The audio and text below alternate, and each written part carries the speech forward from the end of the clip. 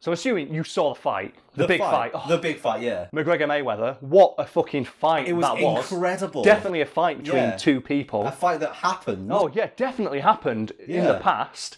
When we're talking now, oh my god, I can't believe that Floyd Mayweather, won in the. 10th round via technical knockout.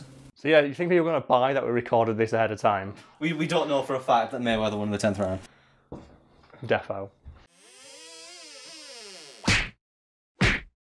So unless you've been living under a rock that has neither internet access or is within earshot of an Irishman, you probably know by now that Floyd Mayweather beat the living piss out of Conor McGregor in that boxing match, and in the process became the boxer in modern history with the longest recorded undefeated streak. Floyd Mayweather dropping early rounds has stopped Conor McGregor. However, as impressive as that feat is, it still falls way short of a similar feat accomplished by an ancient boxer called Melankomas of Caria, who not only was undefeated his entire career, but also never threw a single punch. Before we get to Melankomas and his career, we should probably talk about how the ancient sport of boxing differed from the modern version we have today. While functionally similar in that it involved two men trying to punch each other's skeletons to pieces, there were a few differences that made it altogether more dangerous. What were the differences? Well, one of the main ones is that there was no ring or no weight classes. Anyone of any size could compete, and you would basically fight in a roughly defined area on whatever surface they had available.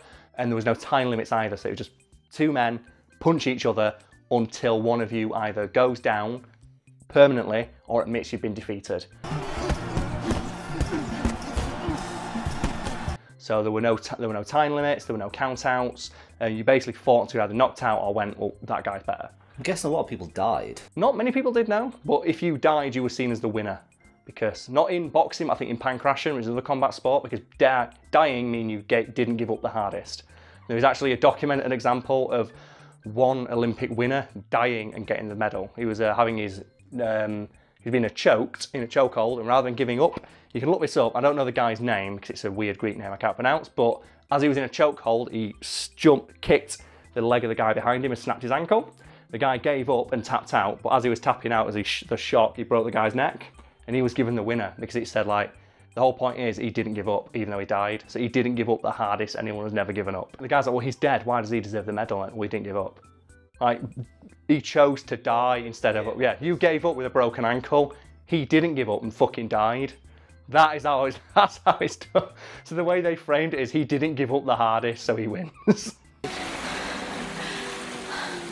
Oh my god, this can't be happening to me. It was obviously very dangerous. They didn't even have gloves. They had um, rough leather straps that were put over their knuckles, or they could fight bare knuckle if they wanted to, or they could wrap their fists in ropes. It was really dependent on like what they felt more comfortable doing, which meant that there wasn't as many headshots because um, uh, obviously you can't really punch the human skull with such little padding on your knuckles. So there wasn't really many deaths. It was just obviously like you fight until one of you gives up. So they matches could take literally all day. There are cases where boxers would fight from like morning till night, just slugging each other because none of them would give up, and obviously none of them were getting knocked out. Which it's really hard to punch someone in the head and knock them out. So, do they have any rules in place then? There was only a couple. I think one of them was um, no grappling because that was reserved for wrestling and pancration events, and another one was like no biting, no eye gouging. So, could they kick? They couldn't kick either now, but you could punch when they were down. You could throw people to the ground and punch them there. In fact, you were encouraged to punch people when they're down, because obviously that's weakness, and weakness should be punished and exploited. There were very few rules, but the rules that were in place were basically to differentiate it from the other combat sports like wrestling and pancration. Like wrestling, obviously, the modern wrestling. Pancration was a mixture between um, boxing and wrestling that is similar to MMA we have today. Only it was more brutal in that the only thing I think that was outright banned was gouging the eyes.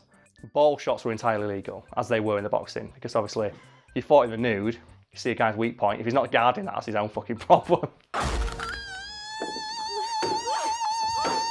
As weight classes weren't really a thing back then, the sport inevitably became dominated by the largest, most physically powerful men, and most boxing matches simply devolved into two hunks of animalistic fury beating each other with the clubbed hooves of meat they had at the ends of their arms.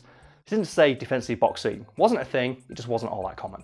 If, if there's no weight classes, surely it's just dominated by the biggest guy who throws the hardest punch. Mostly, yeah. Most of the famous, like ancient Greek boxers were just the biggest guy. I must break you.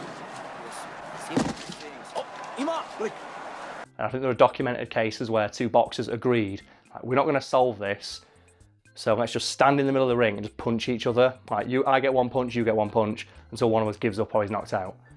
And that was a way they used to solve boxing matches when they couldn't decide like who the winner was. Defensive boxing was a thing, but obviously because of the fact there was no weight classes, it only only exceptionally defensive boxers could make it, and Melly Melon was one of those. So he was one of the defensive ones. He was ultra defensive. He invested every stat point he ever earned into defense and evasion. He was a tank. Yeah, if he was in like he was min max to fuck. He had no attack stat but maximum defense and evasion. He was that dick in Dark Souls who gets the heaviest armor, maximum stamina, and just rolls everywhere. You couldn't fucking touch him. Uh,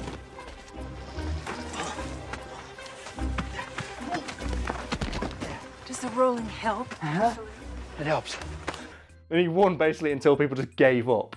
That was his whole shtick. He said he never threw a punch. He never just threw, stood there. Never threw a single punch. He basically only blocked, dodged, and slip punches. So his whole thing was that he'd stand with his guard up, he'd throw a punch, and he'd block it, he'd deflect it, move out of the way, but he'd never throw a punch back. He spent the entire time running around the ring, dancing, moving out of the way, blocking all your punches until the opponent just gave the fuck up. I was gonna say, you'd think that people would be like, well, I don't want to fight him because it's not gonna be a good fight. But then you'd be like, what if I'm the guy who scores that punch? Yeah, what if I'm the guy who gets that hit? And then after about 20 minutes, like, for fuck's sake. Imagine just how frustrating that is. He, he just min maxed his own life. He's like, no, man, all defense, and put it all into that. And it worked. What do you reckon would happen if he came up with a guy who min maxed into all the punches? Uh, that is um, the unstoppable force meets the unmovable object. We'll never know because I don't think there was an ancient Greek boxer like that. Um, reportedly, he was never hit during his entire career. People land glancing blows, but there's never a single clean hit anyone ever got on him. And obviously, with grappling not being allowed, the only thing you could do is obviously try and push him over or punch him. And with his defense that good, there's nothing you can really do.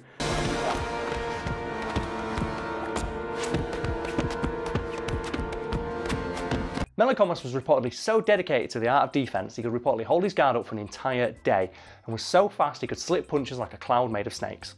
According to one source, he did throw a punch once in his career and got an instant knockout with it, but that's not as easily confirmed some of his other stories. Obviously, this entire thing about Melankomas is based on like thousand year old stories that were also based on hearsay and anecdotal evidence, so this, this is probably not the most historically accurate thing on this um, channel. Uh, one source does say he threw a punch once in anger after someone mocked him and he got he knocked them out in one punch. But again, that's not really as well confirmed or established as all the other shit we know about this guy. Hang on, isn't this a Simpsons episode? Yes, it is. You mean the episode where Homer becomes a heavyweight boxer? Yeah. And the one where they realise that you can't throw a punch, but you can sure as shit take one. So just stand there, and just take hits until the person gets so tired you can push him over.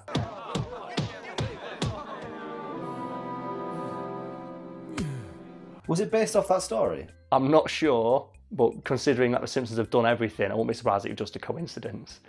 But it highlights how ridiculous Melankomas was, that his tactic was seen as so absurd, a cartoon used it for a joke. Now, no matter how much he hits you, you don't do nothing, okay? You don't want to get drawn into a boxing match here. This is like, I know the obviously the jumping off point of view, so this is Floyd Mayweather. The comparison is really apt because that's what that guy's known for as well.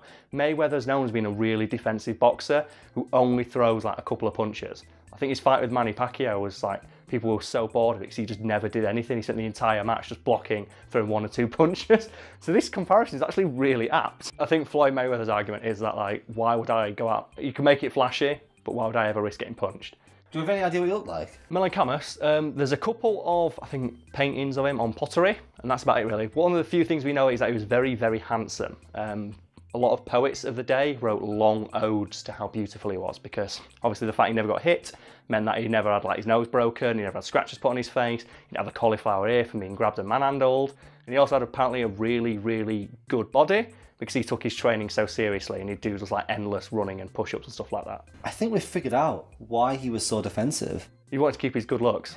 Just, it's like, no, no, don't. He, that's what he was doing the entire time. He wasn't a boxer. He was a guy who just somehow found himself in the boxing ring. He was like, no, don't touch my hair, man, no. He caught his reflection in the pool one day and was like, God, I'm stunning. And when someone started to fight with him and he just blocked everything so and this guy was like, you'd, you'd make a great boxer, son. He's like, I don't want to box. I can't throw a punch. It's like, it doesn't matter. Just do what you've been doing there. He's like, okay. He's like Johnny Bravo. Just like when people try and touch his hair. Just like, no. He learns kung fu or karate just so people can't touch his hair. That's what Melankomas was doing. Is that I'm so pretty, so astonishingly handsome. You're not touching this bod.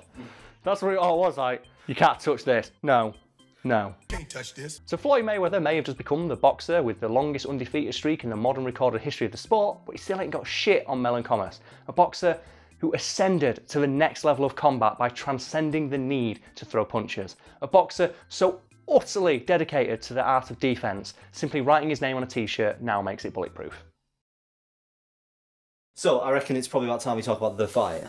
I don't think we should. There's not really much to say. Um, world champion, undefeated boxer, beats up guy who's had like three months of boxing training. So I don't understand why people are betting on Conor McGregor. like, I get it, he's a good MMA fighter, but he's not a fucking boxer and they were fighting in a boxing match. Undefeated boxer fights not undefeated man who doesn't box. Yeah. And that, and that was and that was billed as going to be like, ooh, who could possibly win? Surely that would have made more sense to have had undefeated boxer fights in something where he against somebody who's better at something. That that makes more sense as something that's going to be more interesting. Yeah, well, Floyd, like Floyd Mayweather booked the match. He just wanted his 50. Um, because of this, he's now got he's 50 and 0, which um, breaks the record of Rocky Marciano, who recently who held the record of 49 to 0. can you count as a proper fight when he's not fighting a proper boxer?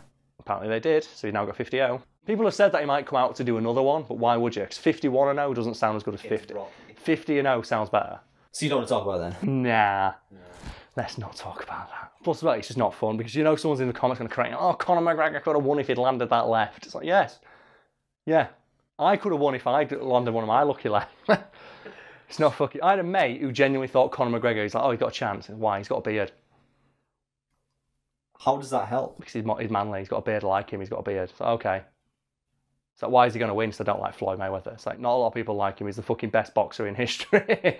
So should we do like, comment, subscribe? Oh yeah, sure. If you enjoyed that video, why not leave a like or comment below with your favourite ancient Greek boxer. So I know I sure as shit have mine. Or subscribe for more content like this.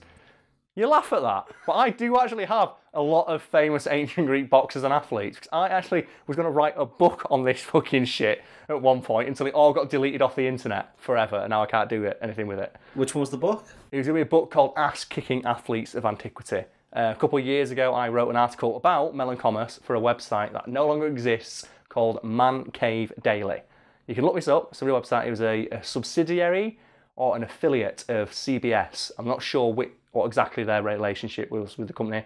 I just know that CBS signed my checks, and every now and again I get one. And I had an entire series of articles called Ass Kicking Athletes of Antiquity about this exact subject, and I think I had about 100 of them in their archives, like some that had gone up, some that hadn't. And then the website just got fucking deleted off the internet. they no longer exist. I think it's a private website now that you can't access, which means all of my articles are locked behind this wall that I can't get past. So now I was planning to turn them into a book about shit like Commerce, like exploring the ancient Greeks and like their legends about some of the heroes they had in athletic events and discussing like the crazy shit they apparently did according to these second, third hand anecdotal sources that have just been passed on and passed on and Chinese whispered to the point. We know a story about a guy who was never hit once in a boxing match. And now it's all fucking gone up in smoke, so I don't know where they are now.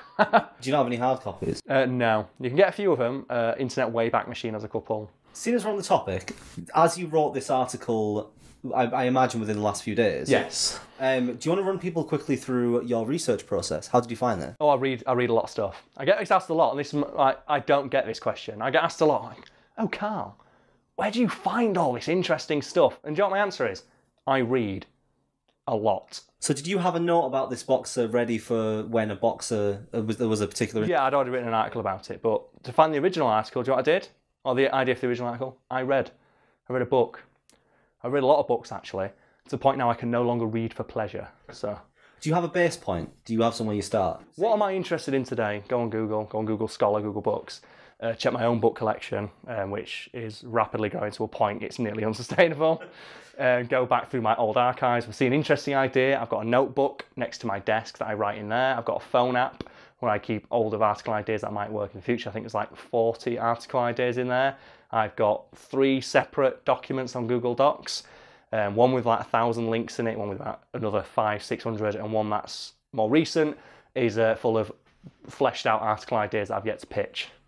So, for example, with this one, you would think I want to do an article about boxer, and you would Yeah. just Google famous boxer, find one that's interesting, and then just keep going and going until and you just link link hop until I find something I've not heard of, and then obviously you've got to do the classic. You've got to type, go onto Reddit, go on Today I Learned, search their archives. It's been on there. If it's been on there and it's been shared a lot, you can guarantee what every other fucking fact website's covered this by now, because that's what all these fact websites do. They go on there. What are the ten most popular posts this week? Oh, okay, a link to Wikipedia. We don't need to spell check that. Perfect. So you always double check to make sure that the ones that you're using haven't been spread widely already. Yeah,